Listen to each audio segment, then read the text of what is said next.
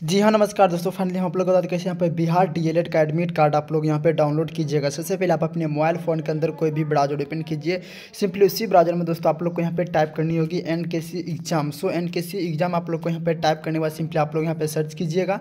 आप सबको देखने को मिलेगी N K C exam dot com की ऑफिशियल वेबसाइट तो फटाफट आप सबको इसके ऊपर यहाँ पर क्लिक कर लेनी होगी।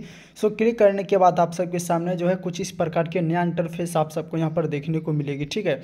इसके बाद आप लोग यहाँ पर जो अपना एडमिट कार्ड वाले सेक्शन में आना होगा और यहाँ पर देखने होगा Bihar DElEd admit card out 2024 तो फटाफट आप सबको इसके ऊपर क्लिक कीजिएगा। एडमिट कार्ड डाउनलोड करने के लिए आपको डायरेक्ट लिंक वीडियो के नीचे दिया गया है। डिस्क्रिप्शन बॉक्स में इस पर क्लिक करने के बाद आप लोग डायरेक्ट इस वेबसाइट पर आप लोग आ जाइएगा और यहाँ पर आने के बाद आप सबको सीधे नीचे की स्क्रॉल करते हुए जाना होगा।